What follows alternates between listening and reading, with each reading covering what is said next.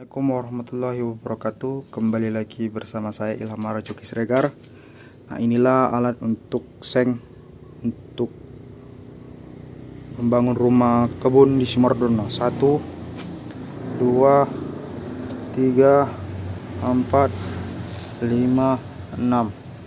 Baru rabung tiga. Yang tujuh.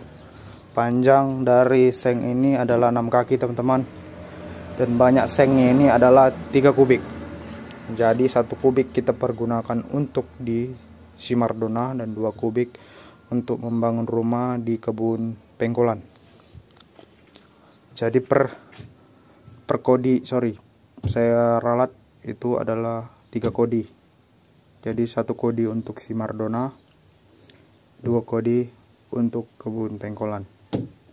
Harga per kodinya yaitu 800 kemudian di korting 30.000 per